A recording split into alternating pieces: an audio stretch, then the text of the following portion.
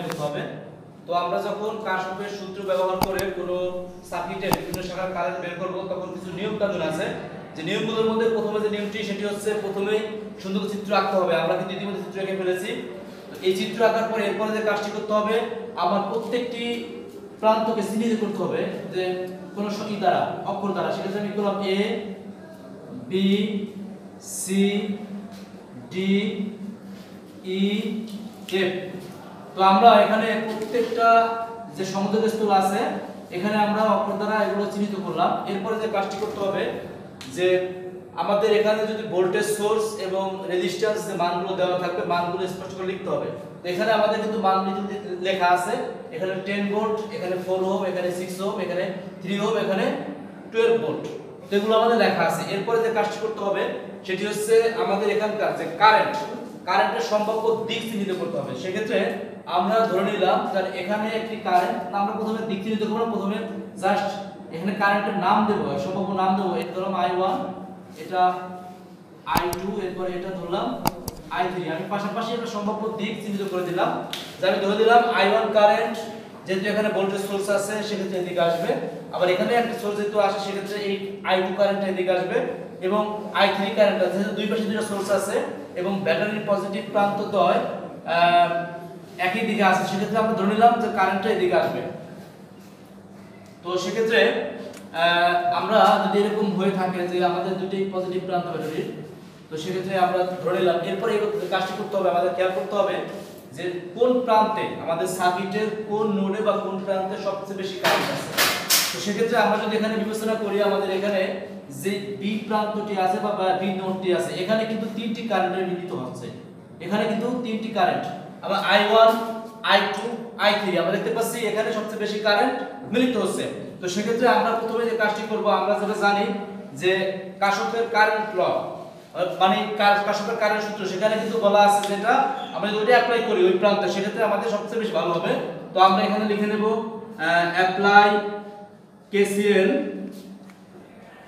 at node B আমাদের কেসিএলটা আসলে কিছু জানতে হবে। কেসিএল হলো কারশফ কারেন্ট ল সেখানে বলা আছে এরকম যে কোন সার্কিটের কোন প্রান্তে সমস্ত কারেন্ট সমূহে বিসিএল লক্ষ্য শূন্য। অথবা এটাকে আমরা হবে যে সবচেয়ে বেশি কারেন্ট কোন নোডে আছে।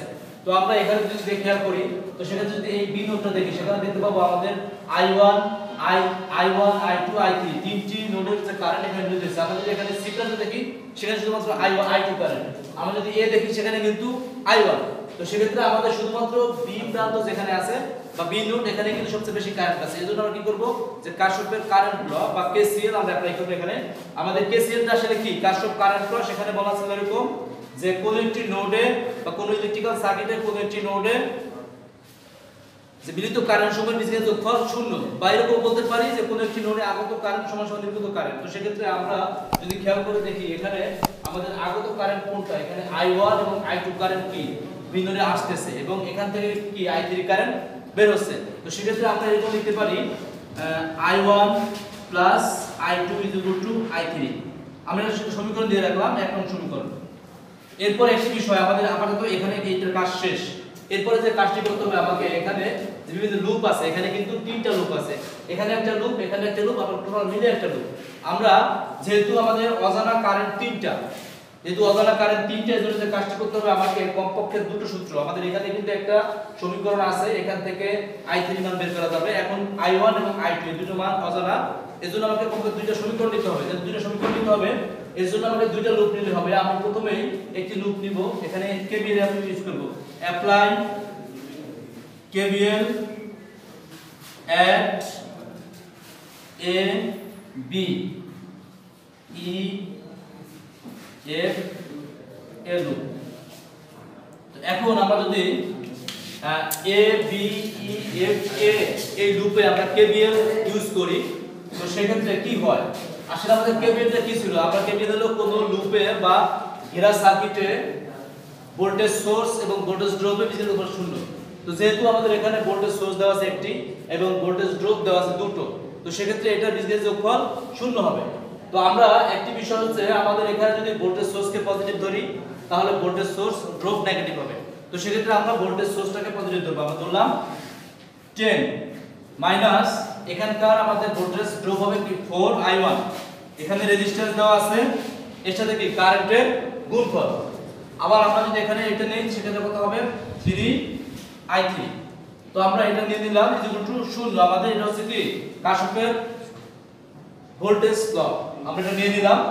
এবারে একটি বিষয় এখানে i3 দেওয়া আছে। আমরা কিন্তু এক নং সমীকরণ থেকে জানি i3 সমান i1 প্লাস i2 জাস্ট আমরা এখানে 10 মাইনাস 4 i1 মাইনাস 3 i3 মানে হচ্ছে i1 plus i2 is equal to 0 just আমরা এখান থেকে আর যে কাজটা করতে পারি 10 minus 4i1 minus 3i1 minus 3i2 is equal to 0 বাস আমরা এখান থেকে আরেকটা কাজটা করতে পারি, এখানে দিয়ে নিতে পারি, তো 10 minus 7i1 minus 3i2 is equal to 0 just আমরা এটা একটু সাদা লিখতে পারি i1 টাকে আগে নিয়ে আসতে পারি minus 7i1 minus 3i2 plus 10 is equal to 0 এটাকে আমরা শুরু করে দিলাম, দুই নং সমীকরণ। এরপরে যে কাজটি আমরা করব, আমরা আরও একটি লুপ নেব। আমরা চাইলে এই লুপটি নিতে পারি অথবা অন্য বড় লুপ নিতে পারি। আমরা এখানে বড় লুপটি নেব। এখানে লিখতে পারি apply KVL at A B, C, D E F A loop তো সেক্ষেত্রে এখানে যে কাজটি করতে হবে, আমরা যেহেতু A B C D E F A loop দিলাম, এখানে আমাদের ভোল্টেজ সোর্স দেওয়া আছে দুটো। আমাদের এই ভোল্টেজ সোর্স এবং এই ভোল্টেজ সোর্স দেওয়া আছে। এবং আমাদের এখানে কারেন্ট আসতেছে কয়টা? I1 এবং i2 কারেন্ট আসতেছে। এই লুপের মধ্যে আমরা একটি বিষয় এখানে খেয়াল রাখতে হবে। আই আমরা যে i1 কারেন্টের সম্ভাব্য দিক দিয়েছিলাম, সেটা দিয়েছিলাম a থেকে b এর দিকে। আবার i2 কারেন্ট দিয়েছিলাম সি থেকে b এর দিকে, কিন্তু আমাদের লুপটা যাচ্ছে কোন দিকে? আমরা যাচ্ছি হলো এই দিকে। যদি এরকম হয়, আমাদের লুপ যেদিকে যাচ্ছে আর আমরা যে সম্ভাব্য পথ দিয়েছিলাম যদি বিপরীত হয়, তাহলে কিন্তু একটা একটা বিপরীত হবে। একটা একটা বিপরীত হবে। জাস্ট আমি একটু আর ক্লিয়ারলি বুঝাচ্ছি। তো এখানে আমরা যদি নেই এখানে 10 ধরলাম পজিটিভ প্লাস মানে ভোল্টেজ সোর্স তাহলে মাইনাস এখানে কি হবে? 4 i1 এখন আমার এখানে কিন্তু এটা কিন্তু 6 এর এখানে, বা কিন্তু একটা ভোল্টেজ ড্রপ এটা কিন্তু নরমালি মাইনাস হওয়ার কথা। তাহলে নরমালি মাইনাস লিখলাম। তাহলে 6 i2 কিন্তু এখানে একটা বিষয় খেয়াল করতে হবে, আমরা ভোল্টেজ সোর্স পজিটিভ সেক্ষেত্রে ভোল্টেজ ড্রপ নেগেটিভ হওয়ার কথা। আমি সে ভোল্টেজ ড্রপ নেগেটিভ দিলাম। কিন্তু একটি বিষয় দেখলাম, আমার লুপ যাচ্ছে এদিকে, আর আমাদের সম্ভাব্য দিক ছিল বিপরীত দিকে। তার মানে এই জন্য মাইনাস আসবে? ওই মাইনাস আর এই মাইনাস দুইটা করলে কি হবে? প্লাস হয়ে যাবে। ঠিক আছে? তো এটা হলো। এরপর আবার দেখছি আমরা এখানে আবার আসে কি? ভোল্টেজ ভোল্টেজ সোর্স এখানে। তো এখন আমরা এখানে ভোল্টেজ সোর্স পজিটিভ ধরেছিলাম ভোল্টেজ ড্রপ নেগেটিভ ধরেছিলাম। এখানে কিন্তু এখানকার ভোল্টেজ ড্রপটি নরমালি পজিটিভ হওয়ার কথা ছিল। কিন্তু এখানে একটা বিষয় কিন্তু খেয়াল করতে হবে। আমরা খেয়াল করে দেখব যে ভোল্টেজ সোর্স দ্বয় আমরা যে লুপটা ধরেছি সেখানে একই মানে করে কিনা। যেমন, আমাদের এই 10 ভোল্ট 10 ভোল্টেজ যে সোর্সটি আছে সেখানে কি হচ্ছে? আমাদের লুপের ক্ষেত্রে মাইনাস দিয়ে ঢুকতেছে প্লাস দিয়ে বের হচ্ছে। এখানে কি? মাইনাস দিয়ে ঢুকবে প্লাস দিয়ে বের হবে। আর এখানে কি হচ্ছে? প্লাস দিয়ে ঢুকতেছে মাইনাস দিয়ে বের হচ্ছে। তার মানে কি? একটা একটা বিপরীত। যেহেতু বিপরীত, যে আমরা যেহেতু প্রথমে এটা প্লাস ধরে নিয়েছি, তার জন্য কি হবে? আমাদের এইটা মাইনাস হয়ে যাবে। আমাদের এটা হবে কি? আমাদের এটা একটু মাইনাস হয়ে যাবে। তো সেক্ষেত্রে আমরা এখানে দেখব মাইনাস 12 is equal to 0 এইবারে আমরা এখান থেকে যে কাজটি করে নেব এখানে আমাদের কি হচ্ছে? মাইনাস 4i1 প্লাস 6i2 এখন এখানে যদি আমরা এই করি তাহলে মাইনাস 2 is equal to 0 আমাদের এটা হয়, আমাদের এখানে এটা দুই নং সমীকরণ দিতে পারি। এখন আমাদের এই এক নং এবং সরি তিন নং সমীকরণ দিতে পারি। আমরা দুই নং এবং তিন নং সমীকরণ যদি আমরা সমাধান করি। সমাধান করলে আমাদের এখান থেকে আই ওয়ান এবং i2 মান পাওয়া যাবে। এই সমাধান করার অনেকগুলো প্রক্রিয়া আছে, সেগুলো অপিনিয়ন প্রতিস্থাপন অপনিয়ন এই ধরনের যে সমাধানগুলো আছে, ওগুলো করা যাবে। অথবা ক্যালকুলেটর সেপে খুব সহজে সমাধান করে ফেলা যায়। আমরা যেহেতু ক্যালকুলেটর দিয়ে করব না, আমরা জাস্ট এখন যে কোনো একটি নিয়ম করে নেব। আমরা এরকম হতে পারে যে এখান থেকে যে কোনো একটা সমীকরণ থেকে আমি এখানে এটা তিন নং সমীকরণ না রেখে যদি আমি পারতাম, এটা তিন নং সমীকরণ রেখে ক্যালকুলেটর সেপে করতে পারতাম। আমরা ওইভাবে না করে জাস্ট এখান থেকে একটা মান বের করে নেব। এখানে ধরে নেব আমরা i1 যদি i1 এর মানটা ধরে নেই, আমরা বের করে করব। যেটা হচ্ছে 4 i1 আমাদের কত হচ্ছে? Minus six I two plus two বা আমাদের এখানে যদি আমরা আই ওয়ান মান ধরি এটা আমি করে দিই? মাইনাসটাকে মিনিমাইজ করে দিই, সেক্ষেত্রে এখানে আমরা ফোর আই ওয়ান রাখি four I one is two তাহলে এখানে যেহেতু মাইনাস ছিল মাইনাসটা মিনিমাইজ করার জন্য এখানে কি? Six I two minus two হবে। বা I one is two six I two minus two বা ফোর আমাদের এই আই ওয়ানের মানটা আমরা এখন সমীকরণে বসাই। আই ওয়ানের আমরা লিখে নিই। এখানে আমাদের আই ওয়ানের মানটা আমরা এক নং সমীকরণে যদি বসাই, তো সেক্ষেত্রে কি হয়? সরি দুই নং সমীকরণে যদি বসাই, আমরা এখানে আই ওয়ানের মান দুই নং সমীকরণে বসাই তো কি হবে আমাদের এখানে নং সমীকরণ দেওয়া আছে মাইনাস সেভেন আই ওয়ান তো মাইনাস সেভেন আই ওয়ানের পরিবর্তে আমরা লিখব?